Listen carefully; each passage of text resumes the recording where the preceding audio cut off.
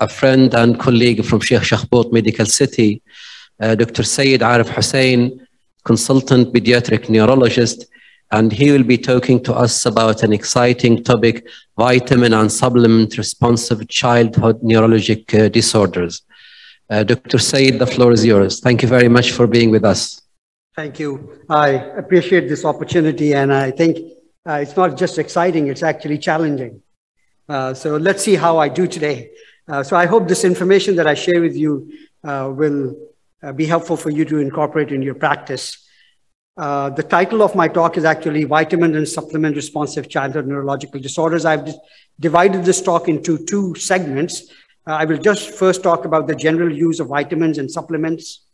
Um, and then I will talk about some of the nutritional deficiency and neurological disorder that respond to nutritional therapies. All right.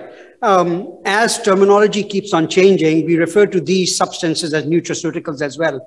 Uh, nutraceuticals are compounds that may have pharmaceutical implications and as well as health benefits and can uh, be used for uh, health purposes. These include essential uh, vitamins, uh, minerals, trace elements, amino acids, and over a thousand probiotics. Uh, interesting is some, some of them are regulated by uh, agencies such as FDA, but some of them are not. So they are, we all know that vitamins and supplements are used a lot and you don't need a prescription for that. Uh, on the right side up top, you have a list of uh, partial list of nutraceuticals. And at the bottom here is the list of your B vitamins and uh, fat soluble vitamins.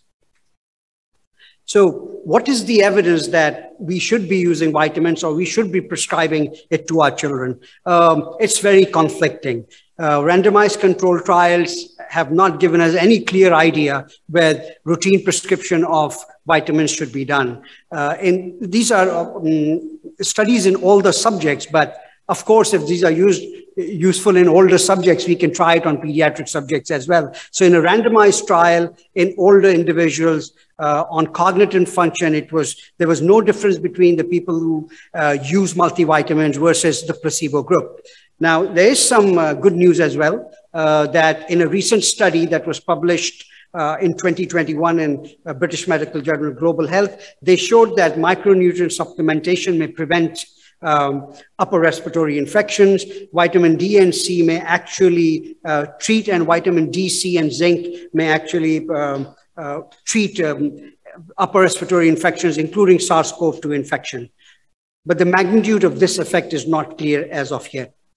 There are plenty of studies. If you Google, you will find it, where Observational studies have shown that vitamins are beneficial, supplements are beneficial. And when you look at randomized control data, there is no benefit. And I'm going to show you. And I learned all of this while preparing for this talk, thanks to Dr. Debussy. Uh, really, it, it, was alarming for me. So uh, let's look at some data. Almost 50% of the US adult population have used dietary supplements at some point in their life. 34% of children and adolescents took vitamin and mineral supplements, even though they may not have any medical need for it. Um, there are limited studies in this region. Uh, in, a, in a study in Qatar, almost 50% of college students use some kind of herbal supplement. In a recent study in Ajman University, almost 40% of university students took dietary supplements. It's a huge industry. Uh, it's a big business making machinery. Almost 14.3 billion um, dollars was spent on purchase of vitamins and minerals supplements in 2014 in the US alone. And if you look at the trend, it's, it's growing. So why do people think they are beneficial? And why do people think they will improve your brain health? Uh, they might uh, have antioxidant properties. They might have anti-inflammatory properties. They may enhance neuroplasticity. They may improve mitochondrial function, enhance neurotransmitter production, and they may also help apoptosis. So when you read this, you will be tempted to take vitamins because you think of them as benign substances without any side effects. Um, they are widely used. Now, are, is this a truth or myth? Most observational studies suggest, as I previously mentioned, that vitamins and supplements have good effect on general health. But when you look at randomized controlled studies, when a, a, a active compound is used against a placebo, no benefit was seen in cardiovascular diseases, cerebrovascular diseases, stroke prevention, dementia, neurodegenerative diseases, and other aging diseases. And definitely more research is needed before we start prescribing people mega doses of multivitamins. Okay, who typically uses vitamins? And I think the observational data is better because often these supplements are used by people who have a healthier lifestyle. They are more educated in general, they are more physically active, they like to eat healthier diet, they are thinner, they're less likely to smoke, and they have less likely to, to have chronic diseases like diabetes and hypertension. So when you look at these studies, they turn out to be good. And, um, and, and it turns out that the people actually using are generally healthier than the people who are actually who are not using these vitamins. So what about antioxidants? There's a rage about using antioxidants, even in the COVID era. And I'm going to show you this data from this study in JAMA, a very prestigious journal, obviously. Use of four um, antioxidants, vitamin A, beta carotene, vitamin E, vitamin C, all had increased death rate compared to people who actually did not take it. I was stunned by this data and I started looking at more data and I found more randomized controlled trials of antioxidants suggesting that antioxidants may not be what you think they do. So the bottom line, uh, should we discourage people from taking antioxidants? I'm not sure. I don't know we have the answer for that but certainly they do not beneficial, uh, they are not beneficial in longevity. But why? Why? It seems, you know, incredibly dissatisfying that you can take an antioxidant and you have a higher chance of dying. Mm, we have some natural things that are happening in our body, such as production of reactive oxygen species, and they may be actually protective. And these antioxidants may be working against those reactive oxygen species these reactive oxygen species may actually remove bad cells like cancer cells. And by taking an antioxidant, you may block it. So we may be doing ourselves harm than benefit. So I'm not telling you not to prescribe antioxidants, but be careful. And there's tons of data to support what I'm telling you. I have not included all of the studies. What about vitamin C? You know, it is true that people who exercise regularly, who are uh, in professional sports such as marathoner runners, skiers, soldiers, and people who are doing subarctic exercises, they definitely have reduction in the incidence of colds when they consume vitamin C. In general public, almost no reduction. Maybe the slight reduction in the duration of colds. And this was a very large Cochrane review published in 2012. You must be wondering, why am I actually talking about this subject? Uh, good things are to come. What about vitamin B and mortality? This is a very large study uh, published in the Institute of Medicine in 2011. Uh, almost 40,000 women between the ages of 55 and 69 followed, were followed for 19 years who took daily multiple vitamin. And they, then they were compared to general population about the same number of cohort. There was actually a 2.4% absolute increase in mortality in people who actually took B vitamins. There is no randomized controlled study to show the long-term benefits of B vitamin. Okay, so what do I tell my patients and what you may want to tell your patient is this, that yes, of course, in patients who have nutritional deficiency, they should definitely take vitamin and supplements, no question about that. But for general population, I think the best advice you can give them is to look for natural sources of vitamins, okay? And if you want to give them, uh, give them a daily multivitamin that has the recommended RDA value. And some of the RDA values are listed right here. And I'm happy to share these slides with you. Fat soluble vitamins. You know, water-soluble vitamins don't have toxicity. Even if you consume them in large amounts, you can excrete them out. But the fat-soluble vitamins actually get stored in your body. So you should not be using mega doses of fat-soluble vitamins. And they are present in good food sources. They're present in yellow food, yellow vegetables, green vegetables, green um, liver. So there are lots of natural sources of getting these fat-soluble vitamins that do not lead to toxicity. Okay, so in general, nutritional deficiency is a huge public health issue. In a report um, in 2009, there were at least 2 billion people who are living with vitamin and mineral deficiency, and obviously most of them are living in uh, underdeveloped countries. It is estimated that approximately quarter of a million children worldwide go blind from vitamin A deficiency. Um, uh, a consensus, consensus panel of economists in 2008 ranked the provision of micronutrients as the world's best investment for development. That's a big statement.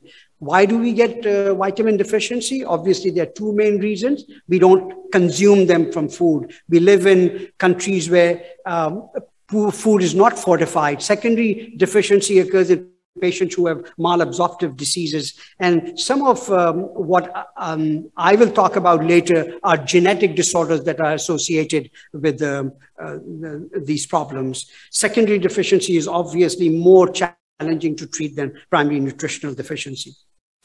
So what's the impact of vitamin and mineral deficiencies in children? As you can see this chart uh, right here, if you focus, um, if you are vitamin and mineral deficient, nutraceutical deficient, child, children are typically stunted.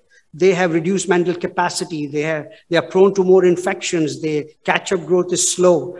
Uh, reduced uh, reproductivity, higher mortality rate. And the same thing goes on for kids, adolescents as well. So eating a good nutritional diet and supplementing these things in people who are nutritionally deficient is very important.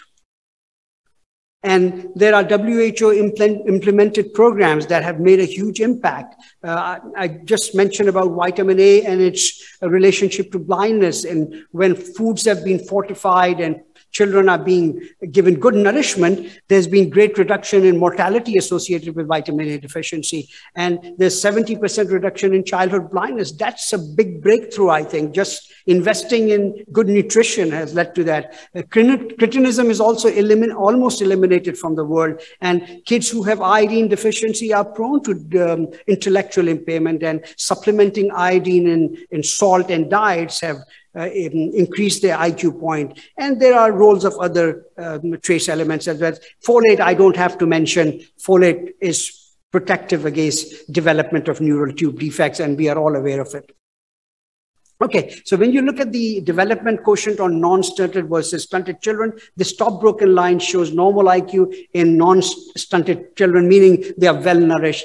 When you have stunted children, when they are stimulated, nurtured well, and they're supplemented, they catch up and their IQ gets better. So this illustrates the importance of good nutrition for intellectual development. Okay, now I'm going to move on to the topic that I was actually supposed to speak, but I, I thought it is relevant to for our practices to know how I didn't know this. That I many patients will come to me and say, "Doctor, should I take a multivitamin?" I would say, yeah, go ahead, take it. It won't harm you. But there is data to suggest that excessive use of vitamins may be harmful. But, so there are a number of neurological disorders. They are all almost genetically based. They are associated with um, mutations that lead to uh, these disorders, and they are responsive to nutritional therapies. And I will talk about a few of them. Okay, we all know this. Neonatologists are very aware of it. Our neonatologists frequently call us for children who are in the neonatal intensive care unit. We have a five-day-old with, you know, uh, intractable neonatal seizures. And one of the things we immediately think about in the region we live is pyridoxine-dependent epilepsy. Pyridoxine-dependent epilepsy can occur due to uh, mutations in two enzymes. The first one, which is the most common, is the ALDH7A1. Um, Children present with neonatal refractory seizures, and encephalopathy. The EEG shows burst suppression pattern here. Um, uh, there are some markers that can identify this disorder, such as increased piperacolic acid in plasma and CSF, and pyridoxine challenge can actually clinch the diagnosis. So children who have pyridoxine-dependent epilepsy, especially due to ALDH7A1 mutation, respond to pyridoxine challenge. You give 50 to 100 milligrams of IV pyridoxine, which can result in dramatic change in the EEG as shown here the burst suppression pattern disappears, the EEG normalizes, and the seizures also stop. So these children require lifelong pyridoxine um, uh, treatment.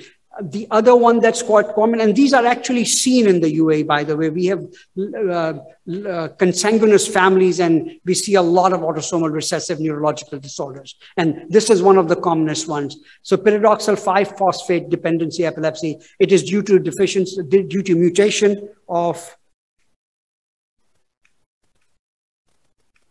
How can I go back? Okay, I got it, I got it. Sorry. Okay, so PNPO deficiency, just quick um, um, reminder for that that it presents like uh, the ALDH7A1 mutation, but it does not respond to pyridoxine, by the way, because the pathways involve pyridoxal phosphate as well. So these ch children need supplementation with both, uh, sorry, supplemented with pyridoxal phosphate. And the EEGs are very similar. They also present with uh, neonatal refractory seizures. They might even have hypoglycemia and lactic acidosis. And something that I have observed, and there's subject of publication, many of these children, for some reason, are premature. Okay, um, so these are the two most common causes of pyridoxine-dependent epilepsy, but there are others as well.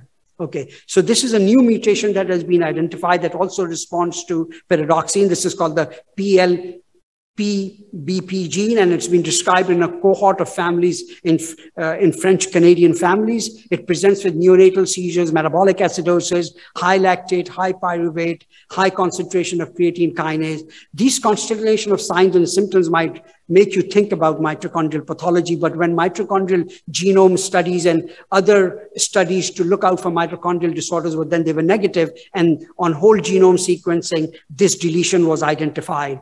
Uh, the EEGs are not pathognomonic. They look like any other abnormal EEG with multifocal spike. What's interesting in these kids is the presence of, which doesn't show here well, temporal cysts so this may be a pathognomonic sort of sign for these babies who have neonatal refractory seizures. They are also pyridoxine uh, dependent and uh, need lifelong treatment. Another pyridoxine dependent epilepsy um, is uh, pyridoxine dependent epileptic encephalopathy with hypophosphatasia. It's very rare and I will, won't discuss this today. So what about cerebral folate, also known as folinic acid? Um, Presentation is with neonatal seizures. These babies are very irritable. They have insomnia. They have microcephaly, hypotonia, spasticity. Additional signs include visual disturbances, hearing loss, and some of the older children who have chronic folate deficiency tend to have autistic features. Two types are recognized. One is the autoimmune folate antibody related epilepsy, and the other one is due to the uh, uh, FOLR1 transporter mutation related epilepsy. Uh, these children might have some clue on the MRI. These calcifications are seen uh, in the periventricular region and the basal ganglia, and, and demyelination is also observed. Um, uh, not easy because these are non-specific MRI findings. There's a good CSF biomarker, which is uh, that they have extremely low levels of methyl tetrahydrofolate, and the treatment is with oral folinic acid, 0.5 to 1 milligram per kg, and you can give a maximum of about 50 milligram. Biotinidase, I think you all must have seen it or heard about it. Uh, biotinidase deficiency I, am talking about genetic mutations, most of it, and the uh, and this occurs from a mutation in a BTD gene. Uh, almost 75 mutations have been identified on on this gene. This disorder can be detected by newborn screening. The phenotype includes infantile seizure, which can present as West syndrome, hypotonia, developmental delay. They have respiratory problems. Some of them have severe respiratory problem and may they go into respiratory arrest. They might also have visual problems. And of course, they have some physical uh, signs such as alopecia and rash on the skin. So uh, these babies can be picked up, but some of the, these babies don't have these physical characteristics very early on in life. And treatment is with lifelong biotin 5 to 20 milligram per day can reverse all symptoms. Vitamin B12, we had some discussions about vitamin B12. Uh, this can occur due to maternal B12 deficiency in breast, uh, primarily breastfed infants. Um, seizures, a wide variety of seizures can be seen in these patients, including atonic, myoclonic, focal seizures, and there are some reports of um, infantile spasms in patients with vitamin B12 deficiency as well. And the EEGs look like any other EEG with infantile spasm that is burst suppression pattern, which is a very, sorry, a hypsarrhythmia, which is a very chaotic EEG with multifocal spikes. Uh, this diagram, I put it deliberately because this shows an abnormal signal in the spinal cord. Some of these children actually have um, almost uh, symptoms of like um, adult B12 de deficiency with sub subacute combined degeneration. A good biomarker for this uh, disorder is elevated methylmalonic acid and elevated levels of uh, homocysteine. Um, serum B12 levels are very unreliable, and many of these children do not have macrocytic anemia. These children require weekly injections of 1,000 microgram of hydroxycobalamin or cobalamin for three months, followed by maintenance injections every three months. And th these disorders are actually quite prevalent in, in countries where there is nutritional deficiency. Dr. Um, Fisher talked about Turkey. I don't know why in Turkey, but in the Indian subcontinent, uh, you may want to look out for these disorders. This is an interesting disorder with movement disorder, biotin thiamine responsive basal ganglia disease. It's often triggered by an infection or stress, typically on, of symptoms as three to 10 years of age, Children present with recurrent attacks of intermittent subacute encephalopathy, abnormal movements, and seizures, and some of them go into coma and die. Cranial nerve palsies are also seen, supranuclear facial palsy, ophthalmoplegia, uh, dysphagia, and this is due to a pathogenic mutation of the SLC19A3 gene. Um, when patients present with this disorder, you can see this very high signal abnormality in the caudate head and basal ganglia with sparing of the thalami and the globus pallidus. And after treatment, everything resolves. So this is really treatable disorder if identified early. So all of these disorders that I'm talking about, we should think about them early on because this can really present, uh, prevent morbidity. Another disorder that is associated with vitamin B12 is known as the infantile tremor syndrome. Uh, children present with a characteristic cry. They have generalized tremulousness, which might look like epilepsy and seizures. And if you don't treat them with supplemental vitamin B12, developmental regression and long-term intellectual disability can result. Am I good for time? Yeah. Okay. So, sorry? The advantage of being the last speaker, I wouldn't, I, I wouldn't hassle you. You have the whole. Great. I, am I'm, I'm hoping that people are enjoying it too. That's more important. So uh, vitamin E deficiency should always be thought of in patients who have ataxia.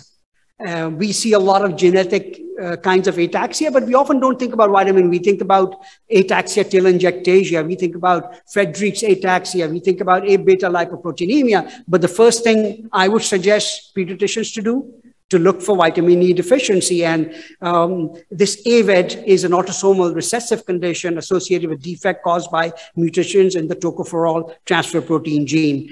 Clinically, it can look like Friedreich ataxia, and it can also have other symptoms such as uh, gaze paresis, nystagmus, and retinitis pigmentosa.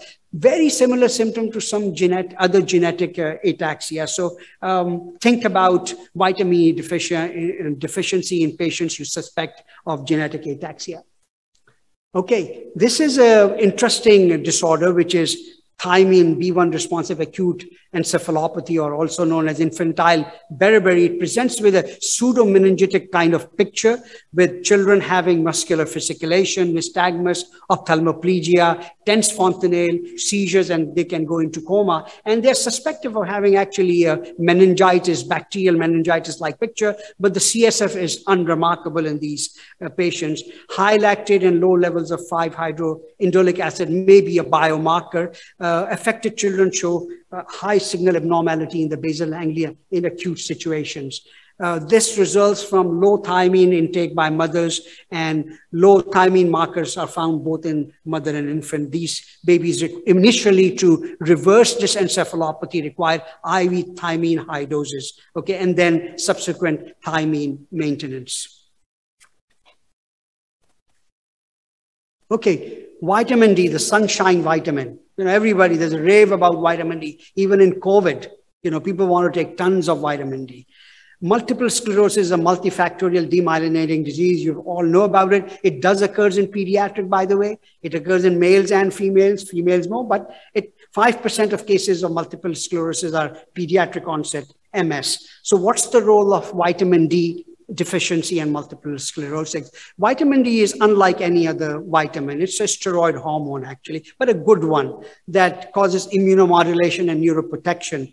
Vitamin D risk has been proposed as a risk factor for MS development. In a longitudinal Canadian study of 302 children with acute demyelinating syndrome, low vitamin D levels significantly increase the risk of developing multiple sclerosis in the next three years. There are some interesting genetic markers now that you can look for. Uh, SNP uh, polymorphisms in these two genes that are listed here, uh, new for me as well, so I don't know them quite well. Um, the gene risk scores of these uh, SNPs can identify children who are at higher risk of developing um, multiple sclerosis relapses. So this is a good breakthrough in science. The recommended daily dose of vitamin D for patients with multiple sclerosis is about 1,000 international units um, to maintain a level above 100 nanomole per liter. Uh, and these are the classic sort of like pictures that you see with, with demyelinating plaques in patients with MS, and there is a lesion in the spine. I think I talked about this, right? Did I, am I moving forward or backward? Okay, migraine. Of course, everybody you know wants to take some supplement for migraines. It's huge. The most common nutraceutical compound that's used for migraines is magnesium. Now, when you look at randomized controlled studies, there was no difference between people who actually took magnesium or placebo.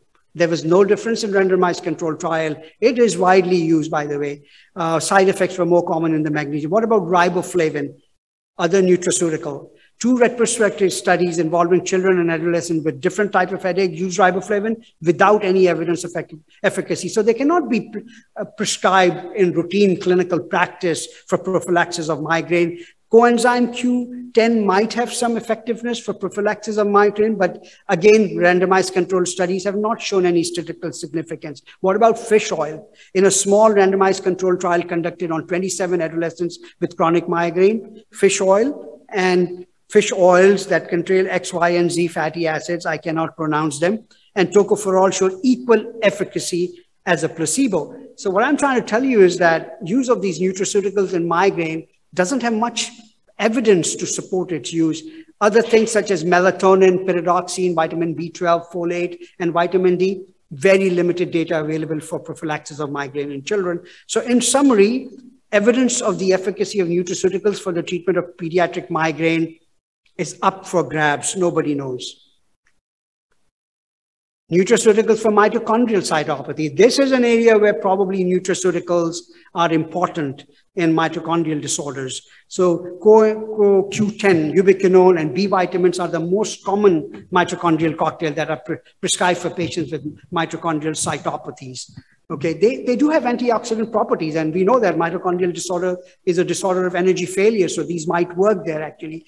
Uh, coenzyme Q10 biosynthetic defects such as neonatal encephalopathy with nephropathy, Leigh-like syndrome, these are disorders that can really respond beautiful to CoQ10 supplements. What about MELAS, mitochondrial encephalopathy, lactic acidosis, and stroke-like syndrome, other mito- another neurological mitochondrial disorder it has been shown and proven that arginine supplements in these patients can actually prevent strokes. And they can be very useful for acute strokes as well. Patients who present with, a TIA or something. If you, if you know that they have MELAS, you can give them infusions of, um, of arginine to prevent the progression of stroke. Many patients require regular maintenance of 150 to 300 milligram um, IV in two to three uh, doses. What about mitochondrial myopathies?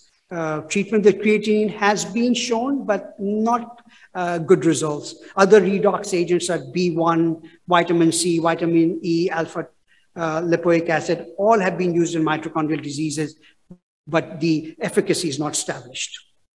Folic acid, I don't need to tell you guys, um, There is greater than 70% reduction in neural tube defects in women who have had prior history of neural tube defects, such as anencephaly and spina bifida. So we all know we have to recommend vitamin, um, uh, sorry, folic acid for, uh, for women with childbearing age in, in the amount of 0.4 to 8 milligrams per day.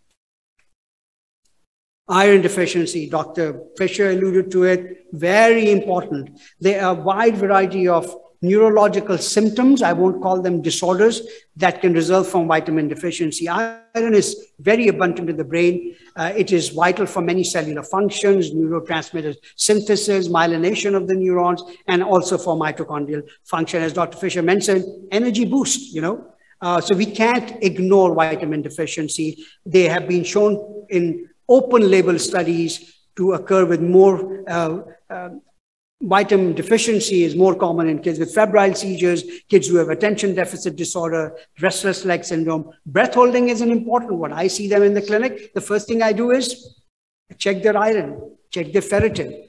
Uh, of course, with uh, some of the iron, iron deficiency, uh, syndrome, we can see benign intracranial hypertension. So this is something to look for in adolescents that are obese and we think about obesity as a cause of intracranial hypertension. We should also focus on if they have iron deficiency.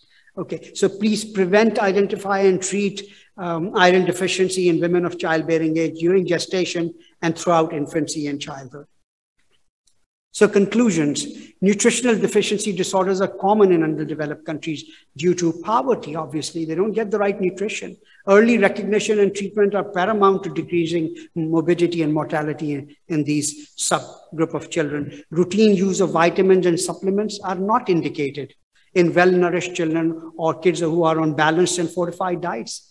It is not supported by randomized controlled studies. Vitamin and supplements should be used according to the recommended RDA values. So taking a multivitamin on a daily basis or recommending to your patients in the right RDA amounts is it's all right. Okay. Um, as I mentioned to you, there are a lot of neonatal epileptic encephalopathies and other neurological conditions that can respond very well to these nutritional therapy. Key is thinking about them, identifying them early and fixing the problem can give lifelong, um, um, you know, um, success.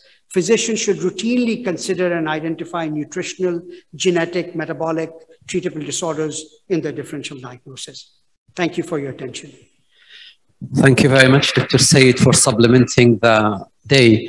Uh, any questions from the audience or present here? Yeah, would you give the mic to our colleague there?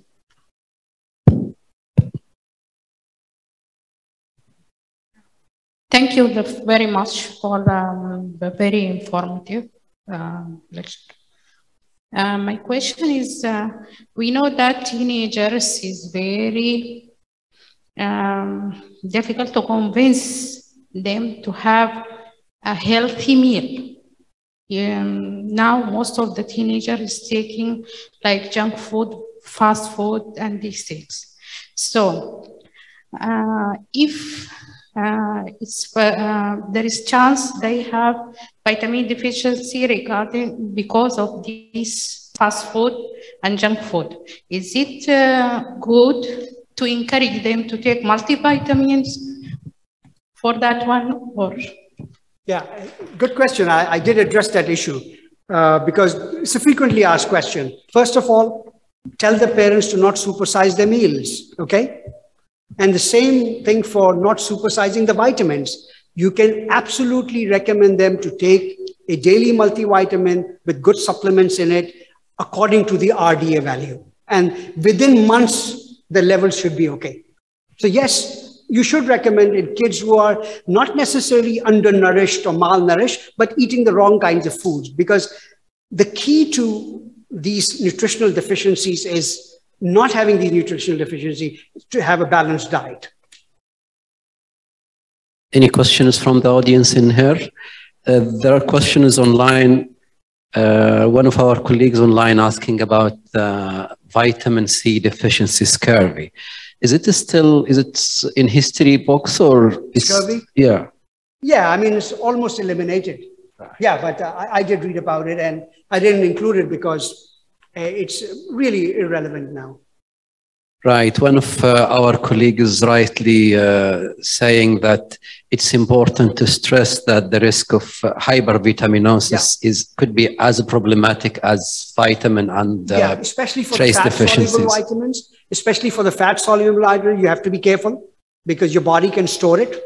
It likes it, you, especially if you're taking an un- unhealthy diet and on top of that, you are supersizing your multivitamin doses, you may get hypervitaminosis. And uh, there are multiple problems, including intracranial hypertension with uh, hypervitaminosis. Uh, so I absolutely agree and appreciate that point. Uh, one last question online. Uh, what is the presentation of copper deficiency? Any Which one? copper deficiency? Copper. I don't know. Honest answers, I don't know actually. I didn't look look it up. Okay, if there are no Let me take a disclaimer. I'm not a vitamin expert and I don't have a vitamin shop. Okay. But I'll tell you, Right. I'll tell you something. Can I say, tell some something? Sure, sure. Many years ago, a friend of mine, he was a pharmacist actually in the US, and he got very rich. He stopped his practice. I said, What did you do, man? He opened vitamin shops. From one, he had six. You can see that industry. I mean, everybody likes to take vitamins. So I think we are in the wrong business. But I'm, I've convinced myself it's the wrong business to go into for ethical reasons. If there are no further questions, uh, uh, this will be the conclusion of uh, our uh, day two.